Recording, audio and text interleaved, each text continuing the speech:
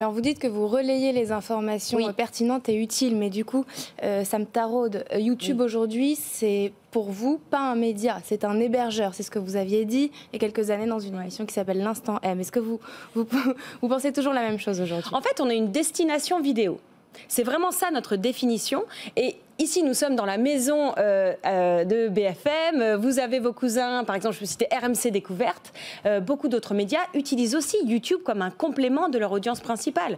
Je prends un exemple. Faites entrer l'accusé est une chaîne YouTube qui carbone, qui cartonne, pardon.